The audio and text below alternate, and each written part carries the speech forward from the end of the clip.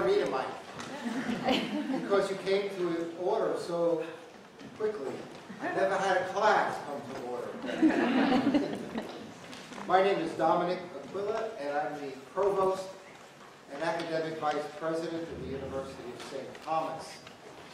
Uh, and I am deeply honored this evening to have uh, a very distinguished panel to speak about uh, Father Carrón, a special guest who joined us all the way uh, from Milan to speak about his new book on disarming beauty. And so we will have a very, as always, a very lively conversation. The University of St. Thomas has been working with Crossroads Cultural Center uh, now for more than eight years. And we've put on a number of programs here at the university across a wide variety of fields that deals with culture in all its variety, in science, the arts, literature, philosophy, theology. And so tonight, we're very honored to continue that tradition with our very special guest and honored guest, uh, Father Carrón. I was reminded as I read through uh, Father Carrón's book and what he's trying to achieve uh, in that book, in coming into dialogue with others in the public square. Especially in the American context right now, to be able to bring religion at all, not just to say Christianity, into dialogue with others in the public sphere has been a considerable challenge. And I was talking with Father Carrón a little earlier about the work of Bishop Robert Barron. And many of you might know uh, Bishop Barron's ministry, Word on Fire. And I found as I was reading Father Carrón's book and following Bishop Barron recently, is that you may know that just a few weeks ago, Bishop Barron was invited to speak at Facebook. Not, not speak on Facebook, but he actually went to the corporate headquarters of Facebook to give a lecture because Facebook and Google, they routinely have these kinds of uh, speakers come and speak to the employees there. And the topic that Father, uh, that Bishop Barron spoke about was very much along the same lines as we find in Father Carrón's book, is that how do you have a religious dialogue in our culture? What is the way to have that conversation? Because the experience is either you're not allowed to speak, you know, religion is so privatized that you can't speak, or when you do get to speak, it's really verbal bludgeoning and not argument in the classic sense of how to listen intently to someone else, how to make a proposal, and respectfully converse about that proposal.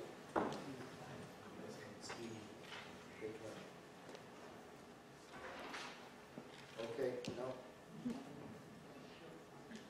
Maybe that, that works. well, well, where was I? Okay.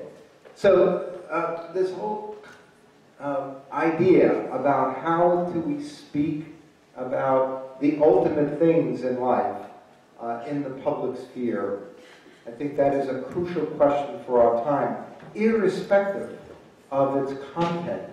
But how do you have this dialogue? And then the dialogue itself brings very unexpected fruits. You never know what you can learn, and that's the whole idea of classical argument, is when you enter into a discussion, not for the purpose of bludgeoning your opponent into your opinion, but rather to learn and to exchange ideas and to make proposals that are meaningful. And so this evening we're very honored to have this panel here, and I'm going to turn it over to Father Jose, who, will introduce each member of the panel.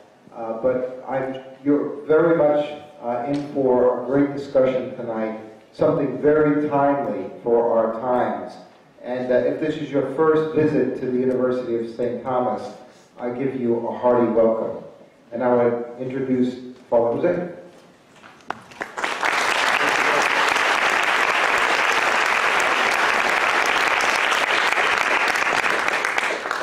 Thank you very much for your hospitality, for having us. Um, I have a very simple job today, although I don't think I can stop myself from reminding. I don't know, when you were young, there was a joke. There is an Irish and Spaniard and American walk into a bar. That's in a sense how I feel a little bit with the panel we have tonight. we have a lot of variety, a very eclectic group of people who, as Dominic Aquila was just saying, um, gathered together to dialogue. There is a lot of um, conversation about how to dialogue and how to arrive to it, as you were reminding us. Um, and, and tonight's attempt is a simple one, is to have one. And uh, the opportunity uh, for this dialogue is, is the publication of Father Carrón's book, Disarming Beauty. And uh, very mindful of the author's intention, we are not here so much to present the book, but to dialogue about it, starting from it. Uh, in particular, this evening we ask our panelists not only to give us their remarks, their brief remarks and their impressions, but also to engage in the opportunity to ask questions to the author, which makes my job a lot easier. I just have to sit and watch. Um, I wanted to introduce you briefly who we have with us tonight. Uh, on my right, I have Father Julián Carrón. Uh, Marlon Hall is sitting next to him. He's an anthropologist and an entrepreneur. And I will not read much of your biography, but it is quite amusing. I totally agree. and as you told me before, your mother agrees too. uh, Dr. Ferrari is, is next to us. He is the CEO of uh, the Methodist Hospital Research Institute. And to my left is Louis Markos, professor of English at the, uh, and Humanities at the Houston Baptist University. Our fourth speaker is MJ Khan. He will join us when uh, he arrives. Um, and I will introduce him later when he is here with us. To begin, we ask, uh, we ask Marlon to introduce us into the conversation. So we are ready for you, Marlon. Good evening. Good evening. My name is Marlon Hall, and uh, this book, in many ways, uh, has given me language more tangible than thought, in that it has been uniquely art and power and possibility. And I want to read um, a quote that, in many ways, speaks to that truth. Nothing is as fascinating as the discovery of the real dimensions of one's own eye. Nothing so rich in surprises as the discovery of one's own human face. This is a thrilling adventure, but to set out on this adventure and vanquish our extraneousness from ourselves, we need someone to look at. Look at our humanity with us, someone who does not balk at it or balk about it. And this is our work. Um, I am a filmmaker, I'm an anthropologist, and my goal is to try to work with God to provide a mirror for people to see their most beautiful selves through their own brokenness. Uh, our films grow from brokenness to beauty, and we are more so spiritual archaeologists than we are uh, visual anthropologists, in that we work with people to unearth what's beautiful in what's broken in their story, including our own mayor. Would you, would you roll, roll that tape for us?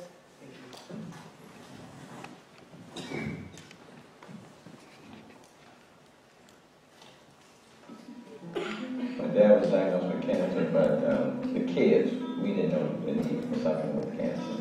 And so uh, when he was out there, we were out there cutting people's yards, we see my dad um, fall to the ground and grab a lot more, pull himself back up. Quite frankly, mean, back then, we just thought the old man was, you know, you know, just getting old and falling. One of the things I learned from my dad in his living and in his dying that I didn't get from Klein at University of Houston or Harvard is that uh, when life knocks you down, you have to learn how to pull yourself right back up.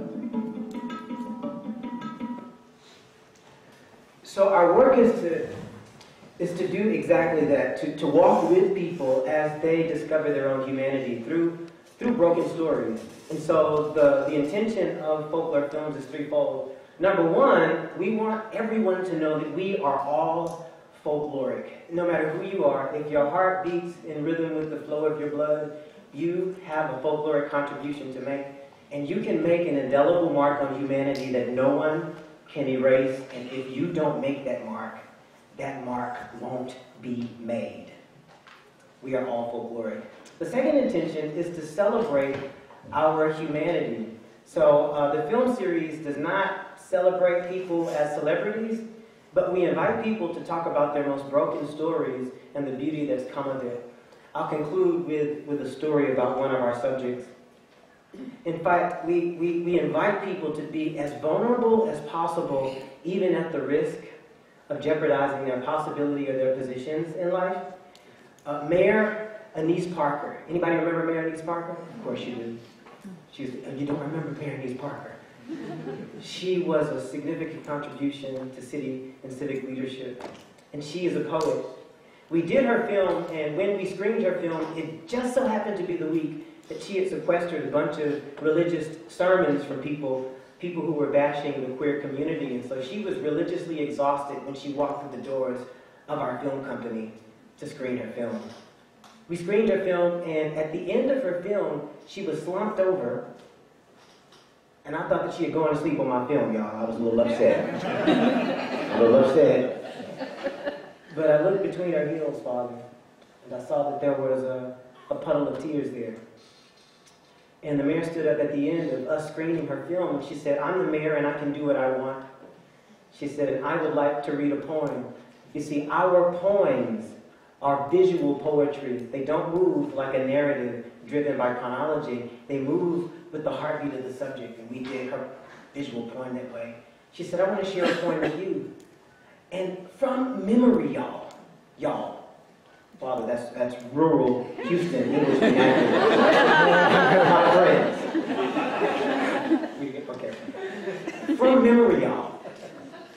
She shared a 16 stanza poem about the relationship that she was having with her parents. They had given her everything, and she was taking everything from them because they were older and they could no longer drive, could no, no longer live alone. After she shared the story in poetry, as my great grandmother used to say, used to say you, you could hear a rat peeing on a cotton ball. So quiet. it was quiet. and she said, I'm done. And the applause that came as a result of the leader of our city deciding to be vulnerable, to expose what was broken, but also at the same time what was beautiful, transformed what it meant in the room to be human. And so we provide a space where people can see themselves through their brokenness as beautiful, as human. We work to create a disarming beauty, one folkloric film at a time.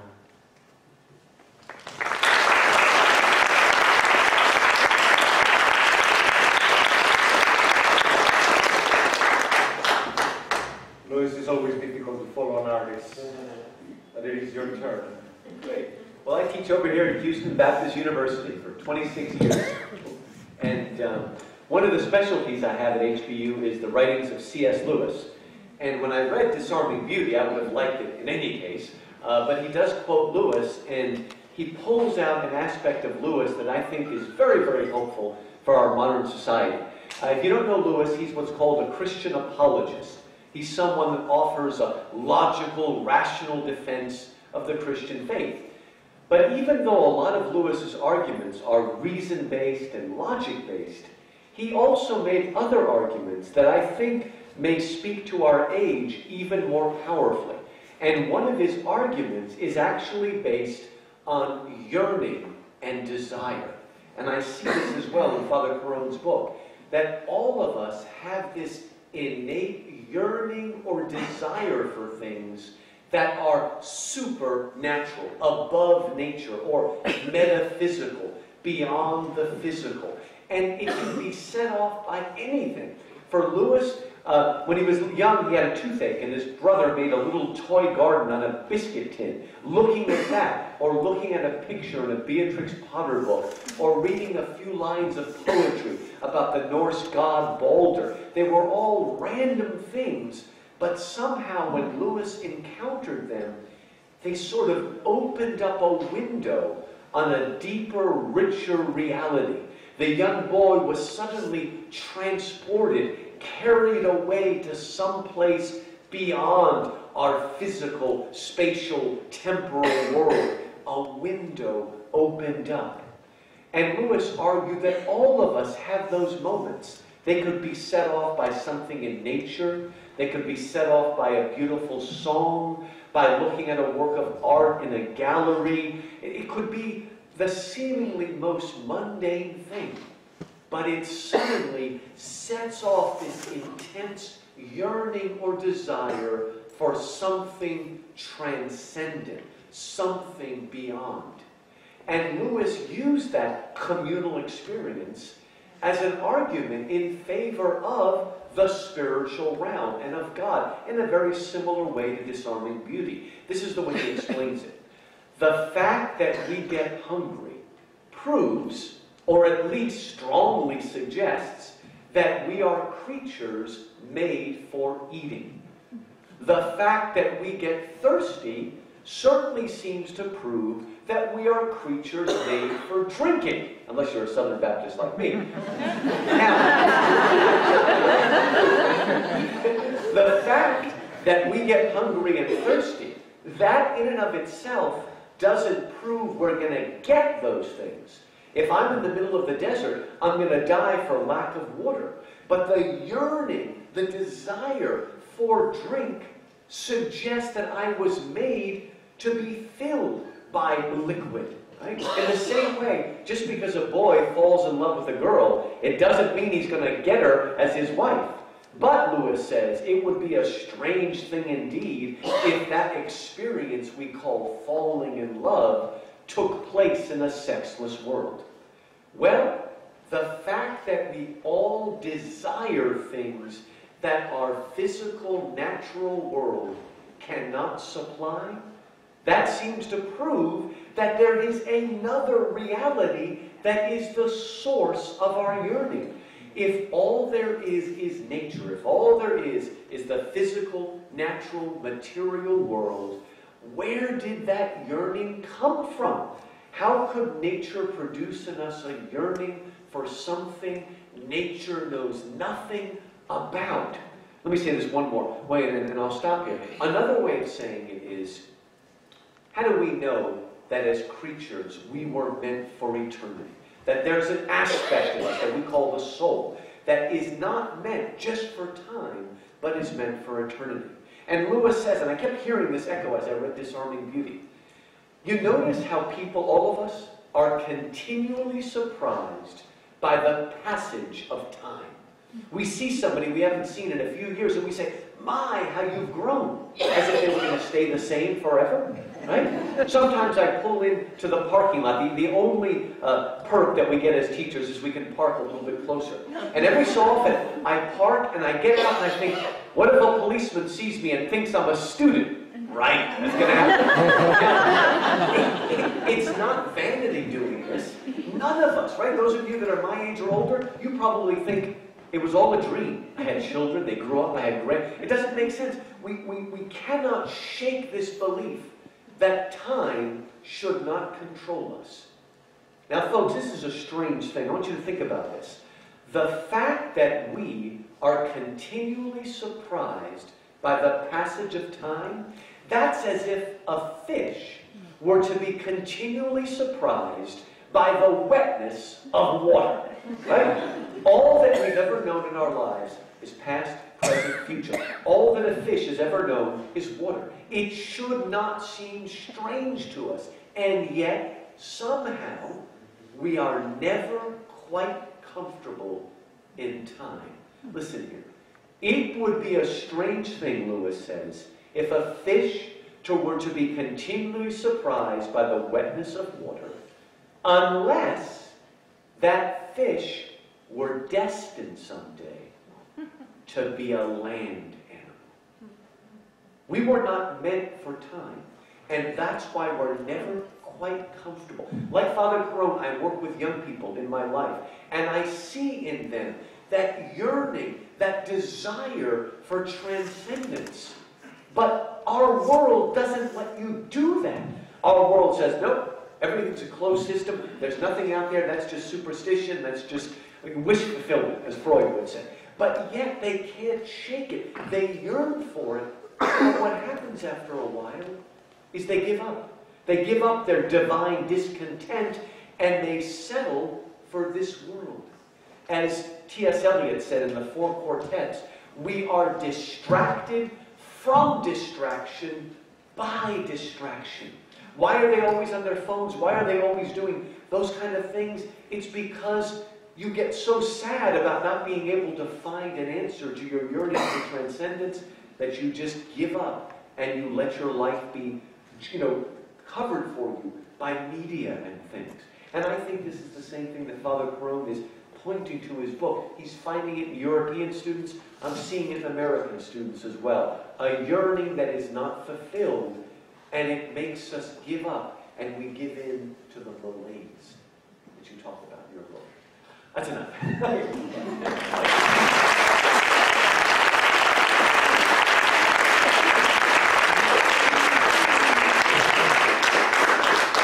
We welcome MJ Khan with us. Thank you very much for coming.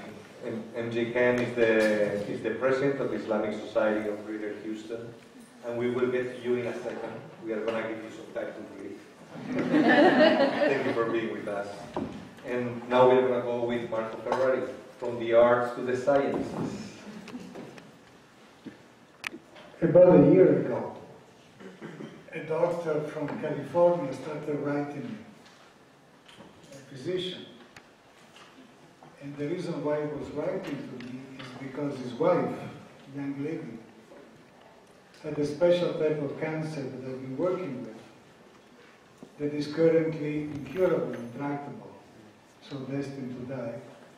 The gentleman was reaching out for help because we had a new drug that may actually be helpful in the future. And initially, the back and forth was initially more technical, patient doctor, friendly, but, you know. And then little by little, was getting closer and closer to sharing of emotions and sharing, of course, in this tragedy that his family was living.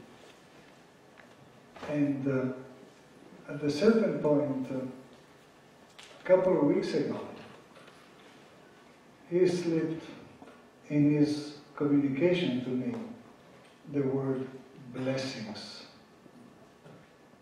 And that opened an entire new vision and perspective on the relationship. And we started speaking, bringing in, writing to each other, bringing in spiritual element, talking about God. And then he wrote me a letter that said, uh, this is the last time I'm going to ask you if the drug is now available, because she's not going to make it much longer. Is there anything that you can do?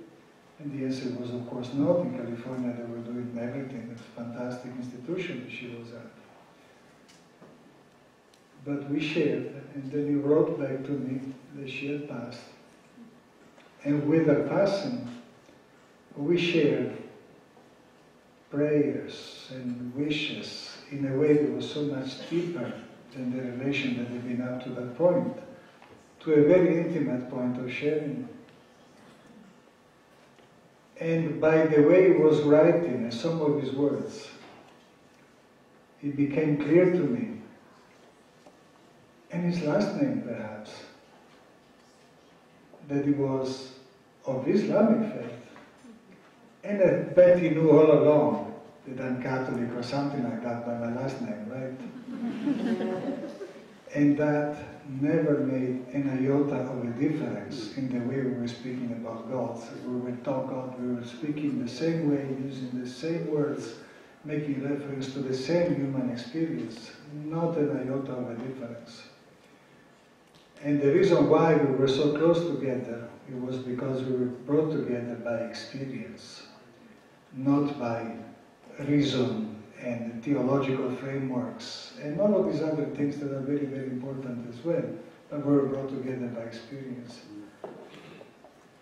And so, Father Carrón, I was reminded, I was reminded of the passage that you have in the eighth chapter, I believe, of your book, when you speak about the great French philosopher Roland Barthes, and how he speaks about being modern, meaning that the reason is completely separated from experience, until his mother dies. And with his mother dying, he looks back at all of his intellectual construct that he has created and says, I don't care about this anymore.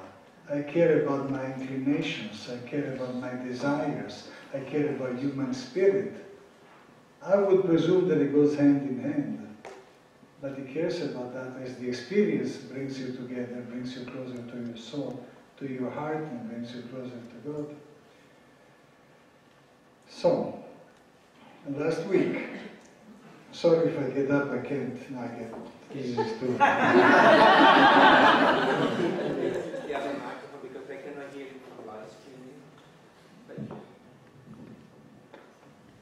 Do I have to do it again? no,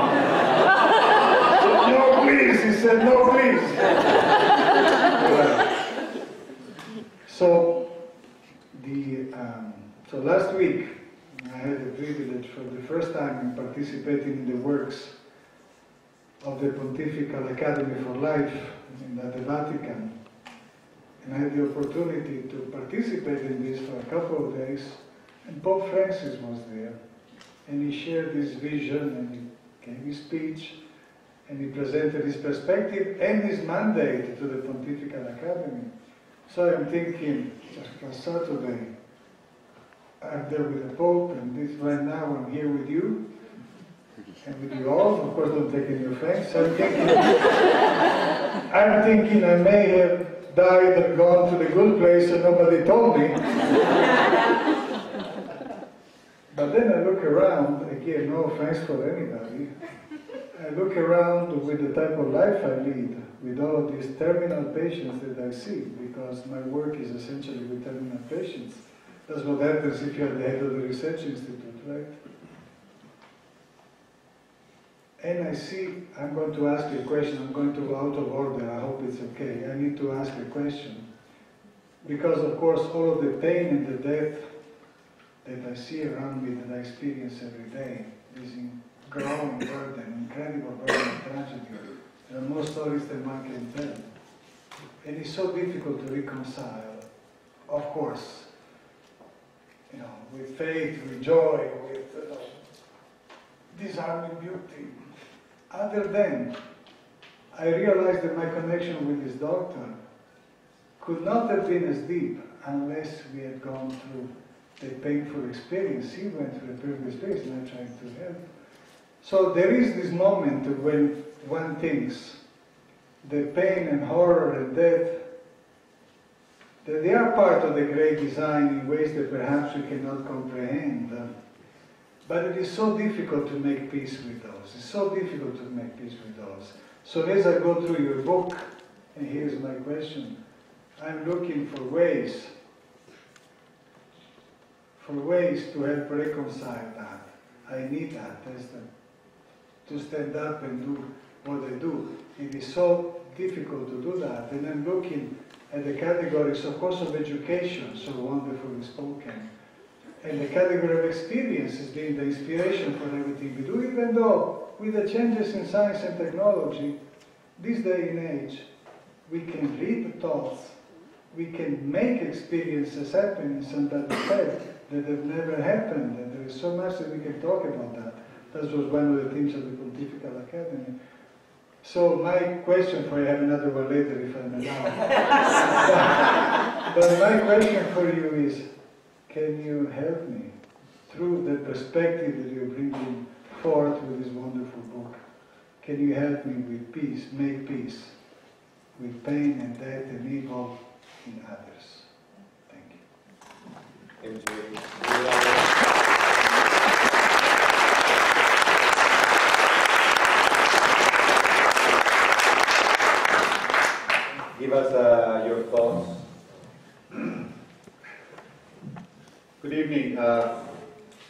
John. Welcome to Houston. It's an honor to, to be with you.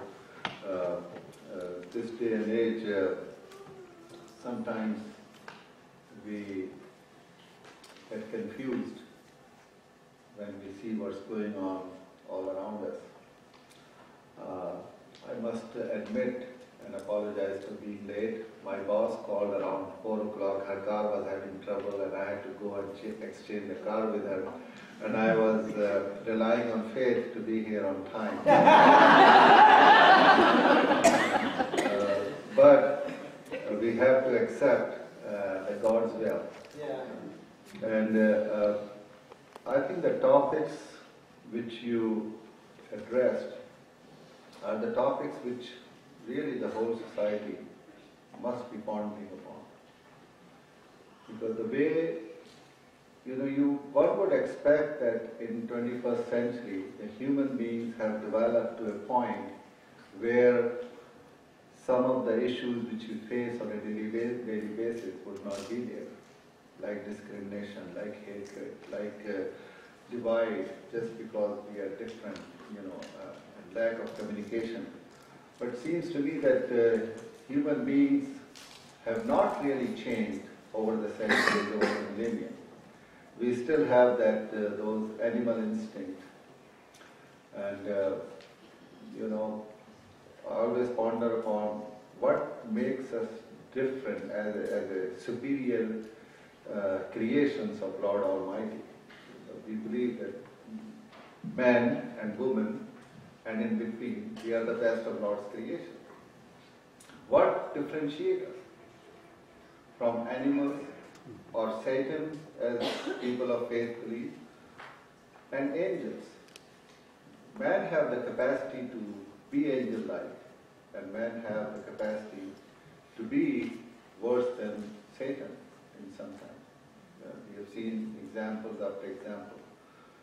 And the items, the thing, topics which he touched, the cultural divide. Why is it that we don't appreciate that just because somebody has a different background or culture, that it's not as beautiful as we believe my culture would be? Uh, I think that uh, people and professors have, have uh, written a lot in, in, in this area about uh, uh, the uh, downward spiral of the family life in, in many of the places around the world, especially in the West.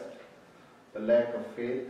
Uh, people are beginning to uh, somehow think that uh, faith is uh, something which is uh, not affecting our daily lives or cannot affect our daily life. And uh, just uh, you know competition of being uh, you know the best you can be and it's a me me me generation. You know that's what.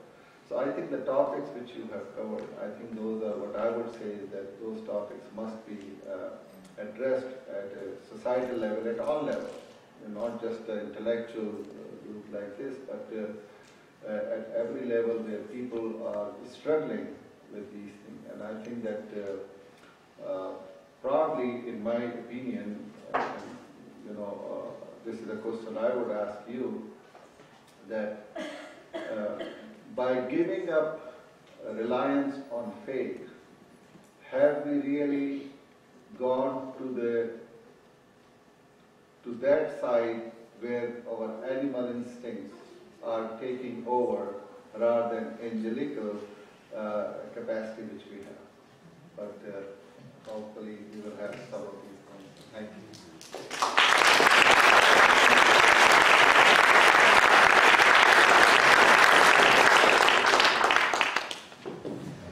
I'm going to begin by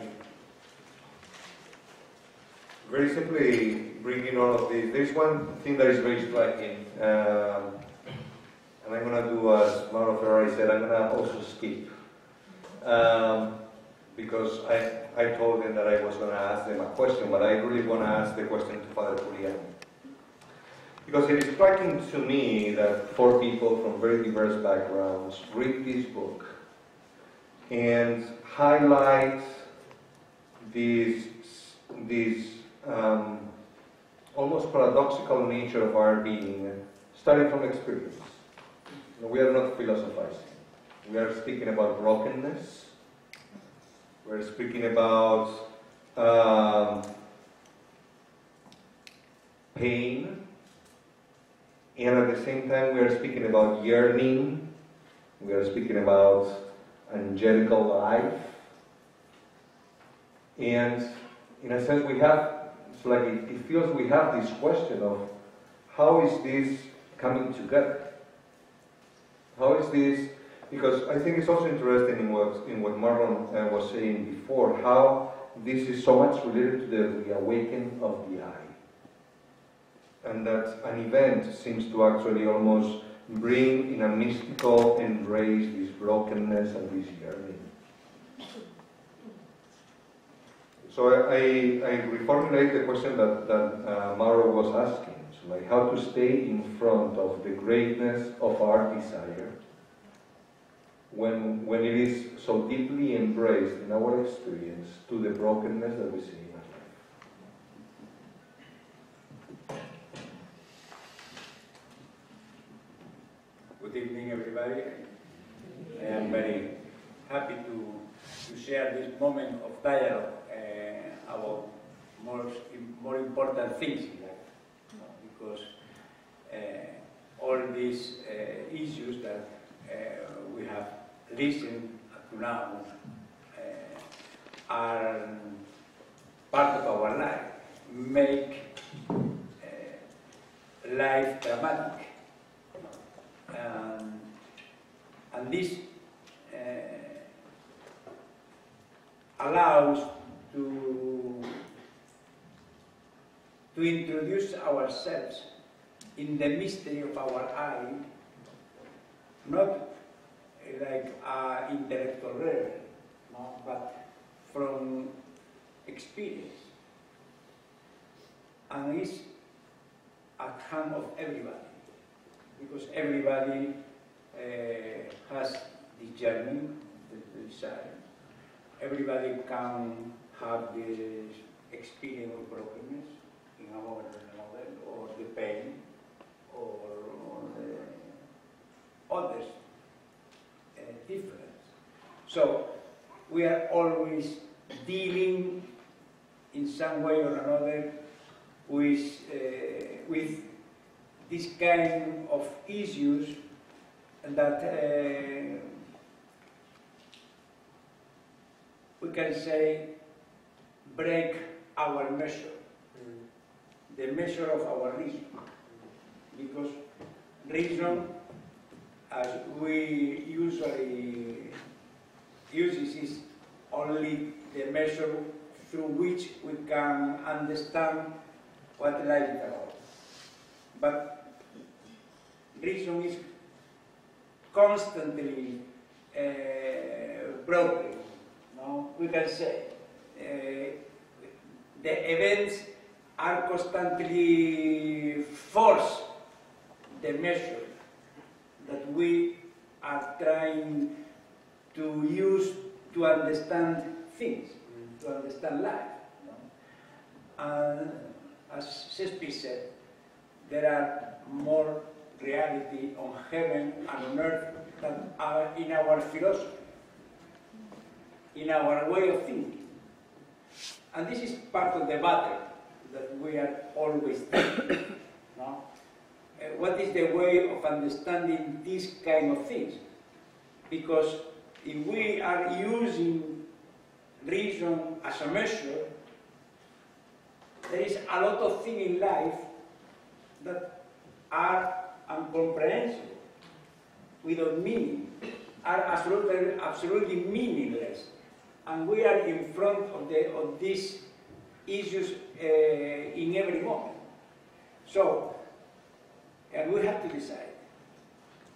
If the only way of understanding this kind of issue is reason according to the pattern of this rationalistic way of thinking of reality, like a measure, we have to recognize that it's impossible for us to understand.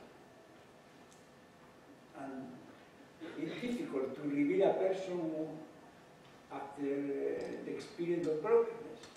It's difficult to answer to all the yearning of the thirst that we are inside, or the, the urgency of a meaning for pain. It's difficult, it's impossible. No? And so we need to, to decide, to, to decide if we use only reason in such a way of reason is the possibility, is the window that uh, allows us to, to see more than only our mission, because uh, what is at stake is only this. And experience, uh, first of all, uh, our said, is uh, what always uh, make broader. Because otherwise, is, uh, there is a lot of things that they have no room in the way we are thinking our religion. And this is, for many people, is something uh, like an obstacle or a disgrace or something, uh, a misfortune. But I think that is the contrary. The possibility of recognizing what is our greatness. For our poet, like Italian poet Leopardi, uh, the recognition that everything that we can see in the universe, in the immense universe, is so tiny to answer to our desire and to accuse everything of insufficient is, according to him, the, great, the, the, the most important sign of the greatness of human being. So, for many people it's a disgrace. For some people it's the way we can recognize our greatness, our dignity, that we are not only uh, somebody reduced to some kind of element or uh, uh, biological, biological, or sociological, or psychological antecedents or requisite of our life, but we are greater than it. And so it's a possibility of entering in the relationship with the mystery. All reality is pushing to something else. In all the experience, the human experience we are talking about, can be pain, that is the more dramatic thing, but we can be something so beautiful as desire that is always pushing without uh, rest inside of us because we can cannot be acquainted with what we have uh, got. Um, the possibility of recognizing that something is broken is because we have the possibility of, of judging that something is broken because we have something else that is not broken. so, this is we need to, to decide. Reality is only what enters in our measure, or reality is this openness that introduces us to the mystery of reality. And so, in such a way, we can see that brokenness can be a grace instead of a failure. And a, a failure can be the possibility of a new, new, a new knowledge about, our, about ourselves. And recognizing that we are made for something else mm-hmm. that is beyond what we can get. And that pain is a possibility no, to recognize that we are not able to give us a meaning by ourselves. And we need to be open to the mystery. Or that uh, desire is pushing from us to something that is beyond. So, we are touching in our experiences the mystery of our I, of our own person. And the question is if we accept where the experience is leading us, is bringing us. Or we, in a moment when we are pushing beyond, we are so perplexed, no? In front of this, no? We're so lost in the middle of nowhere that we, no, it's not possible. Not possible. But possibility is the only way of saving reason, because reason is the category of the possibility. Always there is more reality in heaven and on earth than what philosophy says. So, if we want to understand, we need to start a deep revision of the concept of reason. Because in our time, reason and mystery as not possible to be reconciled. If we have, speak about reason, we are excluded mystery. But only a reason who open the mystery can be human reason. Mm. And in such a way we can accept pain. Or we can understand that pain is the possibility of entering in the relationship with the mystery. As a possibility of discover the meaning of this mystery, the meaning of the faith, because we are made for something else, beyond our possibilities of fulfillment. And only if we accept to be we take taken to this point, we can recognize what is the mystery. And this is what everybody has to decide. Because religiosity is not something that happens when we are uh, in a particular mystic moment. Religiosity is this way of living reality with such as, such as openness. No? And everything that happens in our life can be not against that, but a possibility of open ourselves to this mystery.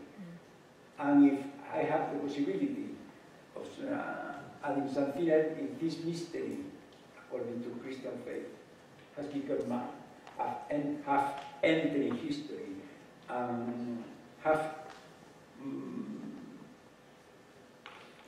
shared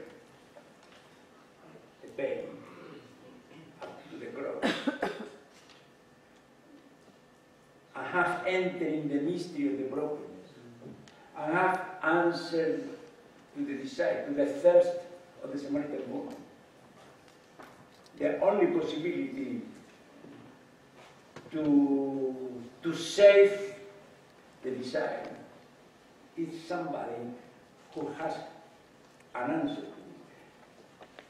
The only possibility of a meaning for pain is somebody who has entered into the, the depth of this pain, sharing pain up to the, up to the end, and feeling this pain, this darkness of the meaning of the light of the resurrection.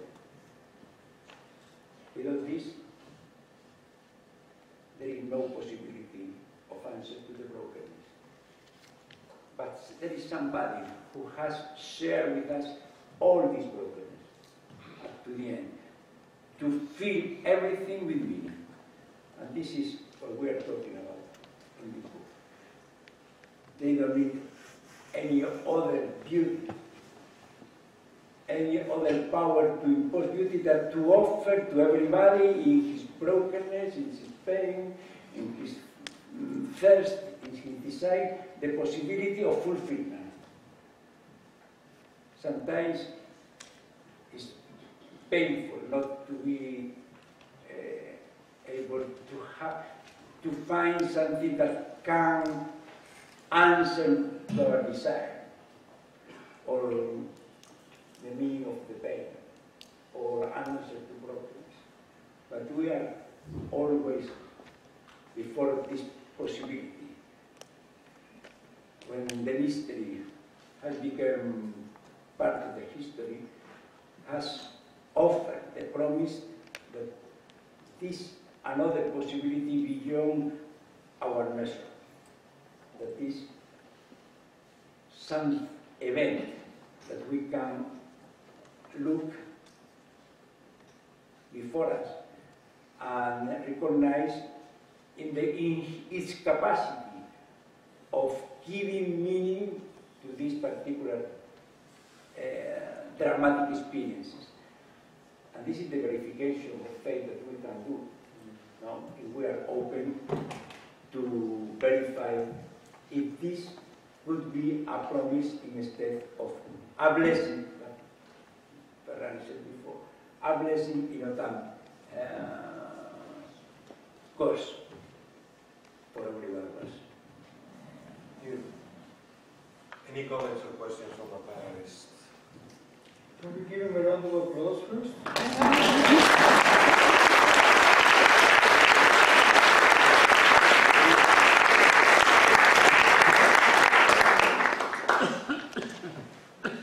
Father, uh, you talked about that sometimes desire for fulfillment or lack of fulfillment can give us pain, something to that extent, right? The question is, why should we uh, feel pain if our desires are not fulfilled, especially if we are people of faith? And if we believe that whatever happens is the will of Lord Almighty, mm-hmm. then if He is giving me some bounties, I should be thankful. if He is testing me with some pain or, or what, I should still be thankful because I worship the Lord and it is His desire and that He like this. So why should human beings be in any way depressed or feeling pain if they are, uh, if the fulfillment is not there. What we are always dealing with is with the problem of freedom at the end. Because we are always uh, thinking about God like uh, somebody who spared of all our difficulties in life. No? Uh, I remember uh, once that I take a taxi in Milan. That's painful. and uh, the, the taxi was a theologian, uh, we can say, because he, he was uh, reading a book of a theolo- Italian theologian. And we were talking about everything. In a moment, uh, he started to blame uh, God for uh, what he allowed to happen in the world. No? And he started to to to blaming God one after another. And I, instead of stopping him, I encouraged him, offering something. and, when, and when he uh, was uh, full of this argument, uh, I asked him, can I have a question? You know? uh, yes, you can ask me the question. Um, do you think, do you prefer to have um, some, that your wife uh, love you mechanically because it's the only possibility uh, that they, she cannot be unfaithful to you? Because there is no risk there is some mechanical way of love, there is no risk. Or, you, would you, or would you prefer to be loved by somebody free? He didn't love, not even a second. I prefer to be love free. It was, the was made because it was only the question I put before you. Uh, do you think that the mystery has less uh, uh, gusto, less light than you are? He preferred somebody who loved him freely, not somebody who loves him because he don't have another possibility. Mm-hmm. So, it's true. This is not depends on God. Pain or brokenness is part of life. The question is if this possibility, in this occasion, this opportunities are used for a relationship, no? Uh, or these are always an occasion of blaming the Creator because we are free people. Because freedom is a gift. It's the best gift that we have received. He has no problem to create another star that make the orbit perfectly, or another uh, kind of animal who can follow the system without broken